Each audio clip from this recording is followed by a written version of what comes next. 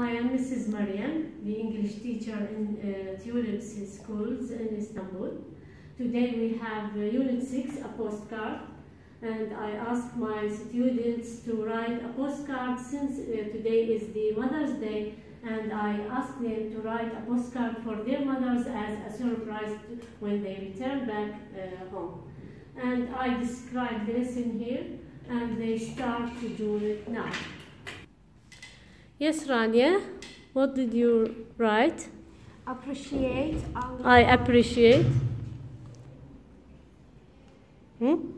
all your efforts Efforts. and love that you give to me all the time.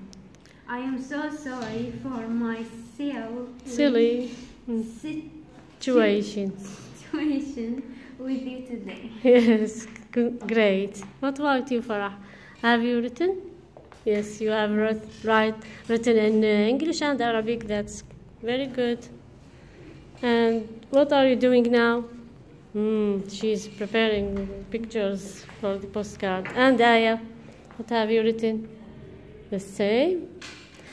Oh, it's very nice. Thank you, dear students.